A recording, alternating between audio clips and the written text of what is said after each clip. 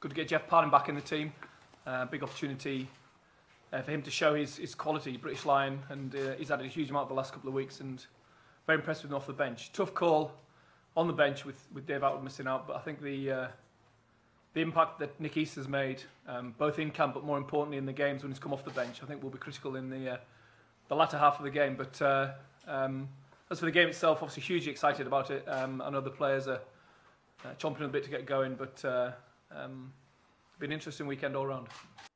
Well, um, France is going to be such a hard team to break down because if you look at their record, um, this Six Nations, whilst they've not scored many tries, they've only conceded two um, throughout the whole of the tournament which is a, an incredible defensive record.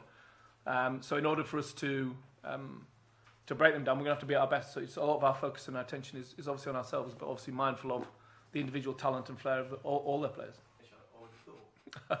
um, yeah, I mean it's it's certainly a it's certainly to be an interesting day, and a, it's it's it's quite an interesting coaching challenge when you've got to try and get the psychology of your team right, um, and you've got all the variables. I can't actually think of another sporting event where, where this situation would occur um, or does occur.